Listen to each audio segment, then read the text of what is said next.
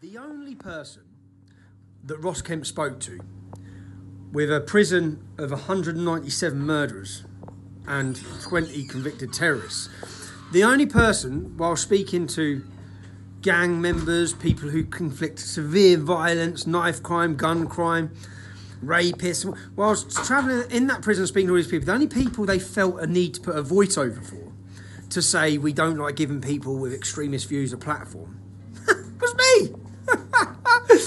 All I've done is talk out about an idea. That's how powerful political correctness is. They felt the need. We must say this about Tommy Robinson. I committed no crime. I ain't even done nothing.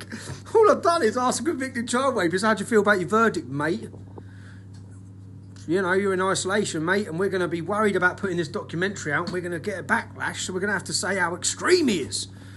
What's extreme about not wanting Muslim gangs raping young English girls across the country? It's not extreme, mate. It's not extreme. And completely ignored. I can't believe that no one, still can't believe that no one anywhere has commented on the lad who got opened up and boiling watered. No comments about it. Mental.